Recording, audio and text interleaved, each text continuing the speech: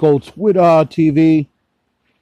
So Pac defeats Eddie Kingston with the brutalizer. Uh, makes him submit.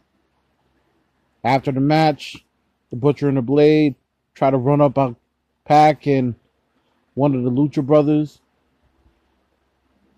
And then all of a sudden, Jake the Snake Roberts and Archer come out after the match to run um, to run um, Kingston's people off, and then he gets into a shouting match with Pac at the end, um, which probably means the next storyline is going to be between Pac and Archer, even though Archer was trying to help him. Um, Pac wins though, so we'll see what happens from here. Goat Squad TV, leave your comments down below. Peace.